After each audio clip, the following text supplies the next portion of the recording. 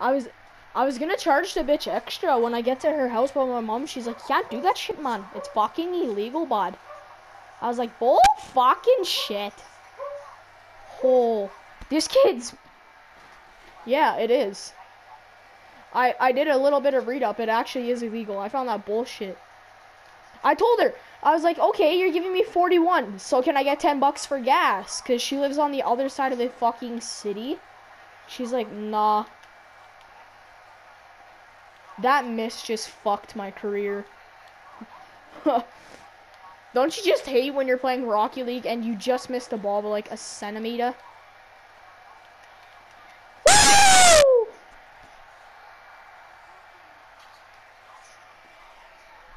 Daddy's money.